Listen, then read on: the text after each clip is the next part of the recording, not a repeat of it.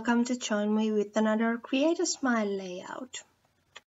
Uh, I'm starting with collecting all, all papers and things I might going to have used on this layout and then I'm uh, using embossing powder to some chippies I'm going to use.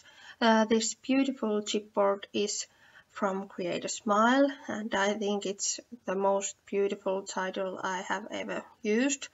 Um, this actually might be the second layout I'm using this beautiful word as a title, but it's so beautiful I can't kind of be without using it.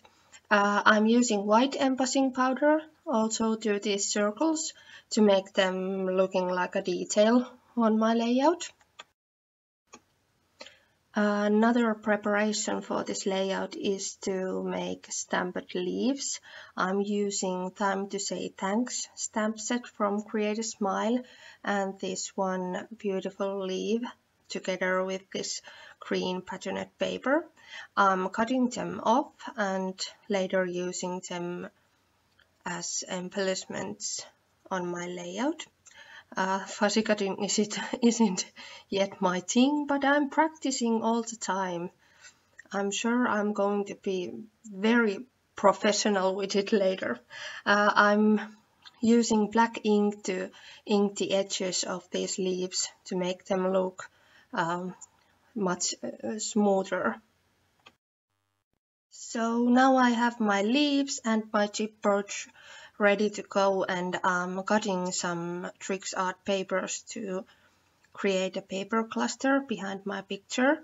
Uh, this picture is my daughter who is very beautiful. I don't know if she's because her mother is so beautiful. No, no, no, no, no, that was a joke. Anyway, I'm uh, building a paper cluster uh, using lots of blues, dark blues and dark greens um, I'm just adding them piece by piece to this cluster and and using some round punch to make some something else than all uh, straight edges and things like that. Uh, now I'm wondering if I will use those chipboards uh, together with paper, but I decided not to. So next phase is to make some doodles and then creating a, a paste, a special paste for my stencil work. For this paste I'm uh, using modeling paste, then some uh, blue acrylic paint, which was my great idea, mixed these two, but uh, it was too light because my paper papers are so dark. So my clever idea was to add some black ink to it, but as you see, it looks like a poop. So I added with it some um, uh, blue ink and now it's much more better.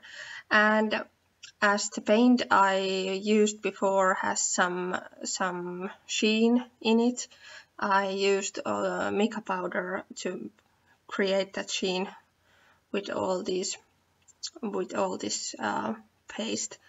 Uh, as you see, I have a lot of this paste now, so I'm using it to this background and leftovers to um, some blank page.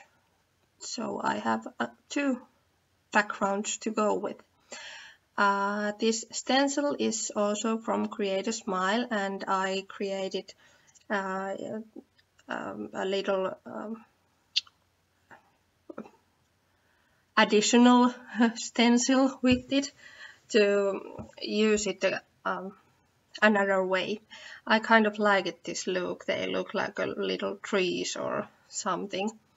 Uh, now I'm attaching the paper cluster and some chipboards and uh, making it together. This layout uh, needed quite a lot of preparations, the background, those leaves, those chipboards, so it's really uh, pleasing to get it all together. Uh, I used some 3D foams and together with glue to adhere the picture and now only glue to add these leaves and and things, and embellishments onto this layout.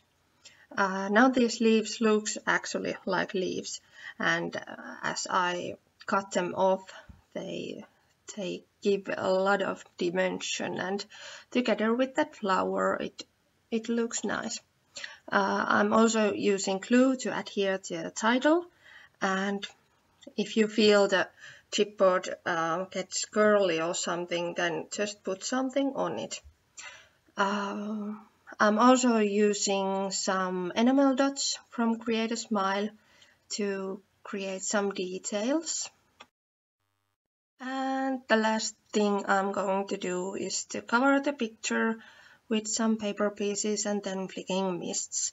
I'm using almost the same uh, color as the patterned papers are. This was uh, indigo blue from uh, 13 Arts and to make it lighter I'm using white ink to give some details also.